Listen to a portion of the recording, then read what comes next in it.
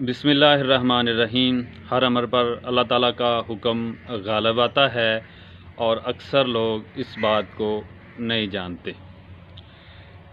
मैं उमर फार्मंग वाला उमर फार्मंग वाले YouTube ਚੈਨਲ ਤੋਂ ਆਪਣੇ ਕਿਸਾਨ ਦੋਸਤਾਂ ਨਾਲ ਮੁਖਾਤਬ ਹਾਂ ਅਸਲਾਮ ਵਾਲੇਕੁਮ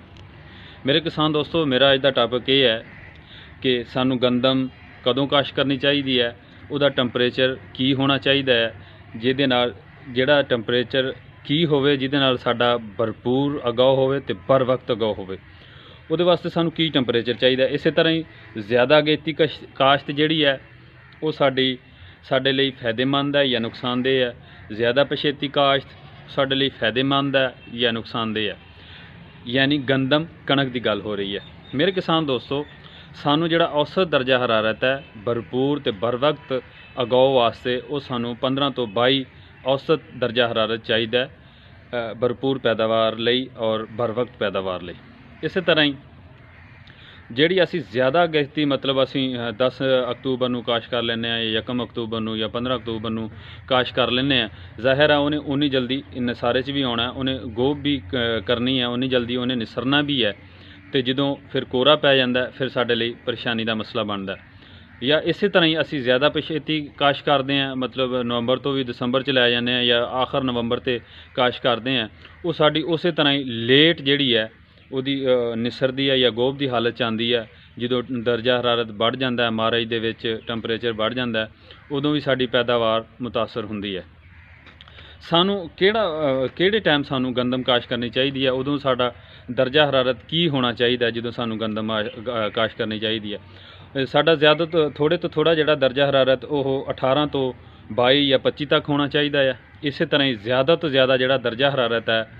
ਉਹ 18 ਤੋਂ 30 ਤੱਕ ਹੋਣਾ ਚਾਹੀਦਾ ਹੈ। ਕੋਸ਼ਿਸ਼ ਕਰਨੀ ਹੈ ਕਿ 30 ਤੋਂ ਥੱਲੇ ਰਵੇ 29 26 28 ਇੱਥੇ ਤੱਕ ਰਵੇ। ਉਹਦੇ ਨਾਲ ਬਰ ਵਕਤ ਸਾਡਾ ਅਗਾਉ ਹੋਊਗਾ ਔਰ ਭਰਪੂਰ ਅਗਾਉ ਹੋਊਗਾ। ਇਸ ਟੈਂਪਰੇਚਰ ਦੇ ਵਿੱਚ ਇਹ ਕਣਕ ਲਈ ਬਹੁਤ ਫਾਇਦੇਮੰਦ ਹੈ। ਮੇਰੇ ਕਿਸਾਨ ਦੋਸਤੋ ਸਾਨੂੰ ਜ਼ਿਆਦਾਤਰ ਜਿਹੜੀ ਗੰਦਮ ਹੈ ਉਹ ਯਕਮ ਨਵੰਬਰ ਤੋਂ ਅ, 20 ਤੋਂ 25 ਨਵੰਬਰ ਤੱਕ ਕਾਸ਼ ਕਰ ਲੈਣੀ ਚਾਹੀਦੀ ਹੈ। ਉਹਦਾ ਸਾਨੂੰ ਜ਼ਿਆਦਾ ਫਾਇਦਾ ਹੁੰਦਾ ਹੈ ਜ਼ਿਆਦਾ ਫਾਇਦਾ ਮਤਲਬ ਸਾਡੀ ਭਰਪੂਰ ਪੈਦਾਵਾਰ ਆਉਂਦੀ ਹੈ। ਸਾਡੇ ਦਾਣੇ ਦੀ ਜਿਹੜਾ ਉਸ ਟਾਈਮ ਇੱਕ ਤਾਂ ਕੋਰੇ ਤੋਂ ਵੀ ਬਚ ਜਾਂਦਾ ਹੈ। ਉਹ ਉਸ ਹਿਸਾਬ ਨਾਲ ਸਾਡੀ ਗੰਦਮ ਨਸਾਰੇ ਚ ਆਉਂਦੀ ਹੈ ਜਾਂ ਸਿੱਟੇ ਕੱਢਦੀ ਹੈ ਕਿ ਇੱਕ ਜ਼ਿਆਦਾ ਗਰਮੀ ਵੀ ਨਹੀਂ ਹੁੰਦੀ ਔਰ ਕ- ਕੋਰੇ ਵਾਲੀ ਡਿਊਰੇਸ਼ਨ ਹੈ ਜਿਹੜਾ ਕੋਰੇ ਵਾਲਾ ਵਕਤ ਹੈ ਉਹ ਗੁਜ਼ਰ ਜਾਂਦਾ ਇਸ ਲਈ ਸਾਡੀ ਭਰਪੂਰ ਪੈਦਾਵਾਰ ਆਉਂਦੀ ਹੈ। ਸਾਨੂੰ ਕਿਸ ਦਰਜਾ ਹਰਾਰਤ 'ਚ, ਸਾਡਾ ਜਿਹੜਾ ਦਰਜਾ ਹਰਾਰਤ ਹੈ, ਉਹ ਯਕਮ ਨਵੰਬਰ ਚ ਤਕਰੀਬਨ ਆਲ ਪੰਜਾਬ ਦਾ, ਆਲਮੋਸਟ ਪੰਜਾਬ ਦਾ ਸਵਾਏ ਰਹੀਮ, ਯਾਰ ਖਾਨ ਸਦਕਾ ਆਬਾਦ ਤੋਂ ਇਲਾਵਾ ਤਕਰੀਬਨ ਯਕਮ ਨਵੰਬਰ ਤੋਂ ਬਾਅਦ ਇਸ ਹਿਸਾਬ ਦਾ ਬਣ ਜਾਂਦਾ ਹੈ ਕਿ ਸ- ਸਾਡੀ ਗੰਦਮ ਲਈ ਉਹ ਮੌਜੂ ਹੁੰਦਾ ਹੈ ਕਿ ਭਰਪੂਰ ਪੈਦਾ ਪੈਦਾ ਉਗ- ਉਗਾਓ ਹੋਵੇ ਔਰ ਬਰ ਵਕਤ ਉਗਾਓ ਹੋਵੇ। ਉਹ ਸਾਡਾ ਜਿਹੜਾ ਯਕਮ ਨਵੰਬਰ ਤੋਂ ਬਾਅਦ ਅਸਾਂ, ਅਸੀਂ ਕਾਸ਼ ਕਰ ਸਕਦੇ ਹਾਂ, ਜਿਹਦੇ ਨਾਲ ਸਾਡੀ ਔਸਤ ਜਿਹੜੀ ਕਣਕ ਹੈ, ਉਹ ਜ਼ਿਆਦਾ ਨਿਕਲੇਗੀ, ਉਹਦੇ ਨਾਲ ਸਾਡੀਆਂ ਬਹੁਤ ਸਾਰੀਆਂ